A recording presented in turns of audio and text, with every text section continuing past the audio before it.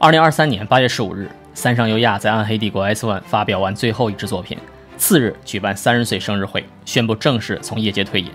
十二月，T Powers 的天后优田优突然注销了全网的社交媒体，包括 Twitter、IG，以及有大量粉丝关注教学瑜伽的 YouTube。而更早一些的六月，香泽南小姐在采访时也曾落泪哽咽，宣布即将退役的消息。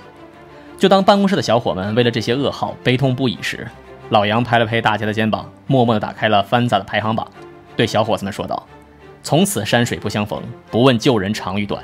少年啊，珍惜眼前吧。”我抽空瞄了一眼榜单，九月状元和十月榜眼，意外的居然是同一位新人。打开介绍栏，其简介赫然写道：“原宝冢歌剧团花组演员。”整个办公室沉默了一分钟后，身边的同事感慨：“这是本世纪我看到的最荒诞的事儿，排第二。”而当我陆续查阅完资料后，才明白，宝冢营下海，这对日本社会来说是多大的冲击。那么今天咱们就来聊聊国民歌舞团日式百老汇大和夫子的标准模板财阀阔太的培训基地——宝冢歌剧团。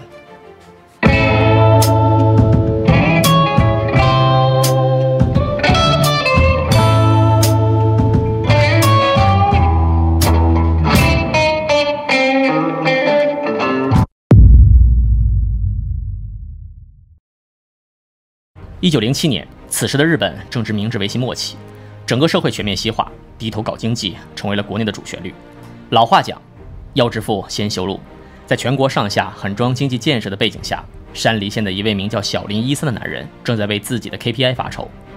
作为一名庆应大学出来的优秀毕业生，手握工程学和管理学双学位的小林一三毕业后，如愿的进入了三井银行。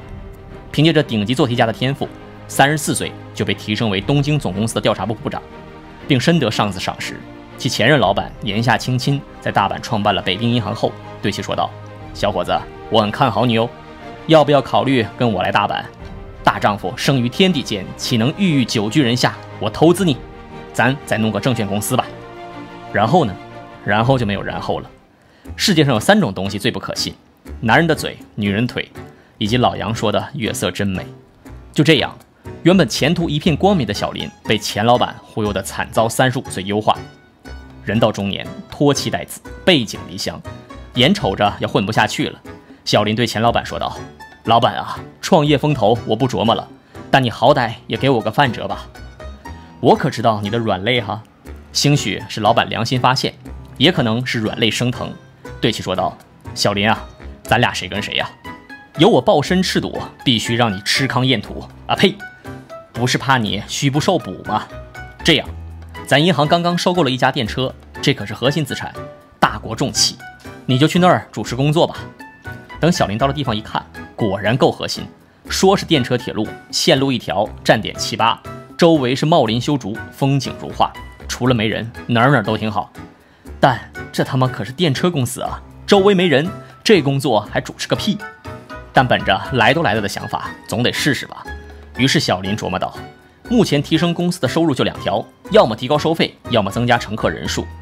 这年头，前有开国元勋造反，后有马峡海战，大为重信那帮虫子都把税收到九十年以后了，涨价去库存，咱就先不操作了，还得先研究研究怎么增乘客人数。目前乘客少，主要是铁路沿线人口少，那我把人口都招过来，乘客人数不就上来了吗？但考虑到推进当地的产业发展。”增加就业岗位这种指标，对于自家公司来说略显超纲，因此小林把目标放在了旅游业。这样的好处，除了门槛低以外，游客一来一回，铁路还能赚双份的车票。底层逻辑成立，上层设计合理，开整。一九一三年，小林用了一年的时间，在自家铁路的终点站兵库县宝冢市建立了宝冢温泉乐园，餐饮洗浴一条龙，休闲娱乐一体化，万事俱备。就等着火车拉着源源不断的游客上门了，结果就是火车按时按点，游客未曾露脸。过了半年，董事会对小林花大钱办杂事的行为提出了一点小意见，勒令小林拿出方案解决亏损，否则就是更换方案解决小林。被 KPI 压得掉头发的小林复盘了现有场景站位，横向对比友商项目经验，发觉自身现有成果，主要是未能打破行业壁垒。且较之东京、大阪等成熟市场，不具备颠覆业态的基础，因此未能触达消费者心中痛点。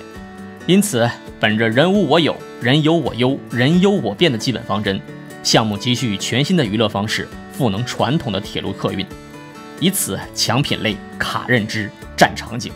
翻译成人话就是：温泉乐园这玩意儿，东京、大阪周边有的是，你啥特色都没有，凭啥让我千里迢迢跑到冰库县泡澡？因此，想要拉动客流量，得整点新活儿。而小林整的新活就是，把温泉室内的大池子填一半，改成舞台。然后找艺人来表演，一开始的演出形式多样，内容不限，什么能剧、落语、歌舞，能上的都上。演员也搞个赛马模式，叫好又叫座的排片多，没啥人看的直接末位淘汰。这样一轮筛选下来，小林发现，呵，男人一会儿说喜欢高雅艺术，一会儿说喜欢深刻内涵，结果统计市场数据一看，呸，最喜欢的还不是看着年轻的妹子在舞台上唱跳 rap。从此。小林开始不拘一格的用人才，放出口号：不要学历，不要经验，不要技术，总之一句话，保种大舞台，够胆你就来。一九一三年八月，小林集合了十七名少女，组成了保种歌唱队，并开始了系统的演出。当年的每日平均观众人数约一千一百人，因为温泉新顾客可以免费观看表演，观众不断增多，以至于温泉乐园后来把自己另一半池子也给填了，澡堂子直接改剧场了。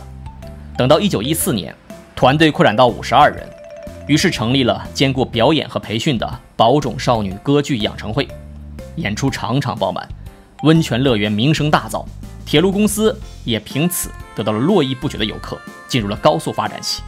这里提一嘴，这个铁路公司现在还存在，如今名叫阪急电铁。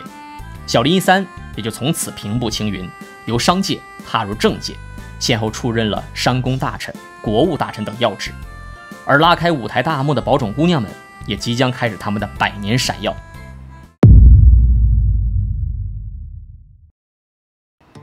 与其他的大型歌舞团不同，宝冢团硬性规定，全员必须都是未婚的年轻女孩，她们以清正美为座右铭，分别代表清纯、正直、美丽。随后几年里，宝冢团会每年都在 Paradise 和工会堂举办四次公演。时间对应春夏秋冬四季各一次。等到了一九一八年，宝冢团登台了东京帝国剧场演出，并在同年创办了官方杂志《歌剧》。短短五年，宝冢少女们从当年的乡村澡堂演出队迅速蹿红，成为了帝国歌舞顶流，并且由于演出的稀少性和话题性，叠加参会人员多为财阀勋贵，宝冢团的演出门票一度被认为日本上流社会的入场券。眼看着路径跑通的小林对着管理团队高呼：“兄弟姐妹们，咱们这火速出圈，大概快上，复制粘贴呀！一年只有四场大型公演怎么行？观众们呼声那么高，你们难道听不见吗？什么人手不够，演不过来，这叫事儿吗？人手不够，我加人啊！观众敢买票，我就敢开锣。而团队迅速扩张的后果就是，演出质量迅速下降。在观众们看来，你们剧团敢把票卖那么贵？”演出就必须是顶级的，跳舞跳舞慢半拍，唱歌唱歌唱不去。你以前不是号称一六十连拍吗？你的承诺什么承诺？你的代价你自己开发。在连续出了几场演出事故后，愤怒的观众喊出了剧场里最害怕的一句话：“你你妈退钱！”在面对观众汹汹声讨后，宝冢剧团不得不道歉停演，但是拒绝退票。退票那不可能。随后团队内部开始复盘，得出结论。咱得开源节流啊！开源指的是，以前招人都是社招，团队磨合难免耗时。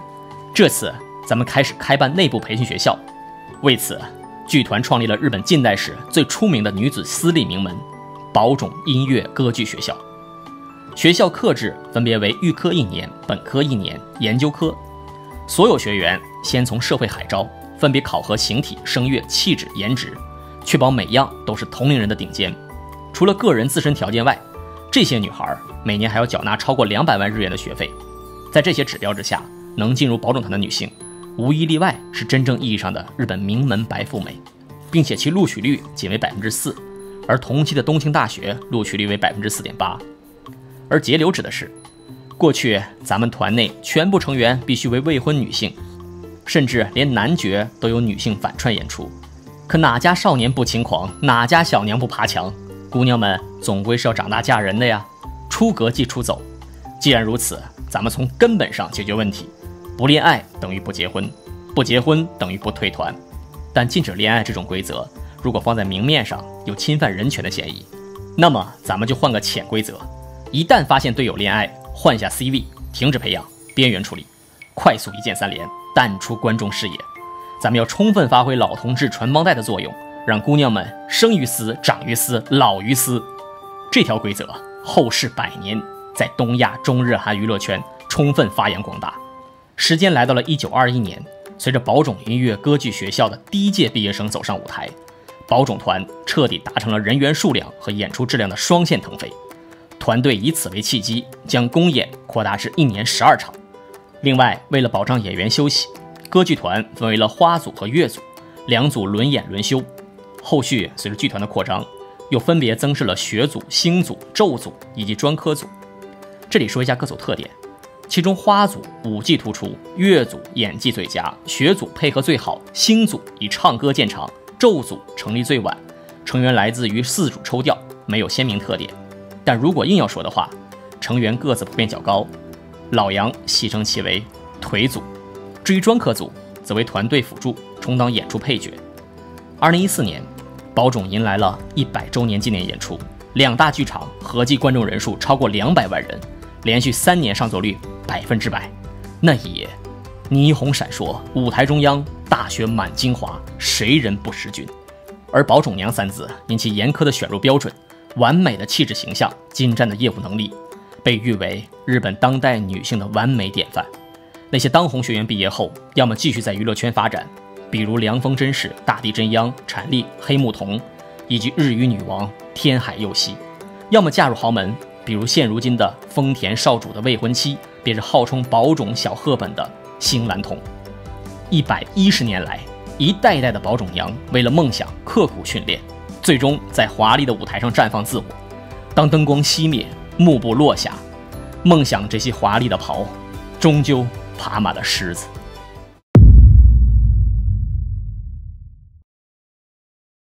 作为传承过百年的日本女性最高艺术殿堂，宝冢歌剧团在今年却不太容易。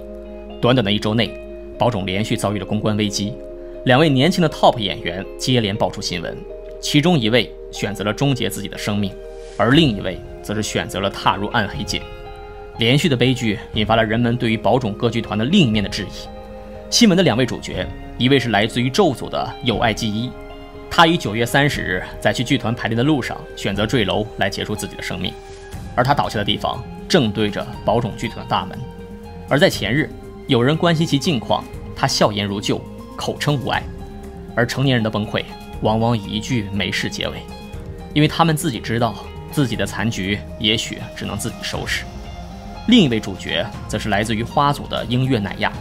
其于十月正式公布签约暗黑帝国 S.O.D，以朱炼生为艺名出道暗黑界。更让人震惊的是，两位新闻主角并不是剧团中的小透明。其中，音乐乃亚作为一四年考入宝冢的舞蹈天才，是花组的舞蹈 TOP；而有爱纪一更是咒组的新剧女王。两条震撼国民的新闻前后间隔不到一周，在众人惊愕的背后。宝冢团华美舞台的等级压迫、男尊女卑、校园霸凌等事迹渐渐浮出水面。二零一七年，有爱纪一凭着着优秀的艺考成绩考入宝冢，并且由于能力突出，很快担任起主要角色。但是他不知道的是，实现梦想的背后还有着残酷无情的现实。在宝冢剧团内，严格遵守的等级分明的前后辈制度，新生们不仅要给师姐打杂跑腿，还要忍受孤立和霸凌。凌晨叫到排练室静坐不许睡，上场前被剪坏演出服，化妆品掺卸妆水，种种手段让有爱记忆和许多新生们忍无可忍。其中很多新生选择退团，而有爱记忆则为了梦想选择咬牙坚持。但是随着有爱记忆在自己的社交媒体上发出了求救后，遭到霸凌者持续的报复，最终有爱记忆在疲惫和绝望中选择了自杀。这些事实在后续被媒体一一曝光，但保冢的管理层。对此情况完全矢口否认，甚至反咬一口，称媒体是为了流量编新闻。就在新闻持续发酵之际，仅仅间隔不到一周，宝冢的老冤家暗黑御三家 S.O.D 发布新片预告，标题名为《国宝级女神退圈即出道》，朱炼生。而这其实已经是宝冢娘第二次投身暗黑界了。而上一个以如此方式报复宝冢的姑娘，名叫铃木玉子。铃木玉子作为九六期学生，于二零零八年考入宝冢。由于长相英气且才华出众，铃木玉子成了男一预备。这里科普一句，宝冢剧团的角色分为男一和娘一，但全部由未婚女性担任。一般在学校期间，按照身高、形象、声音，每个人就已经确立了自己的角色定位。由于担任男一的女孩子通常兼顾了女性的柔美和男性的英气。在日本被誉为走出二次元的完美王子，并且由于稀缺难易，在宝冢剧团中一直是绝对的核心。但铃木的才华引起了前辈的霸凌和孤立，在求助校方后却被校方反向开除。面对明晃晃的偏袒，铃木愤而起诉。虽然最终打赢官司，校方撤销了学校处分并赔偿了一千万日元，但曾经才华横溢的铃木却早已身心俱疲，并患上了躁郁症。离开法庭后。他没有选择重返学校，就此消失在了大众视野中。二零一三年，就在宝冢喜迎一百周年之际，铃木选择了签约 S.O.D，投身暗黑界以报复母校。S.O.D 本着看出病不怕官司大的心理大肆宣传，但最终在宝冢强大的公关下，影片被终止发售。同时，为了掩盖霸凌真相，校方重用九六七，最终提拔四名 TOP 来堵住悠悠众口。十年后的今天。当年看着铃木学姐复仇的英月乃亚重新踏上了暗黑帝国之路，而最为讽刺的是，英月乃亚采用的出道艺名朱恋生为其母亲原名，望女成凤嫁入豪门，于子女而言究竟是期盼还是诅咒，无人知晓。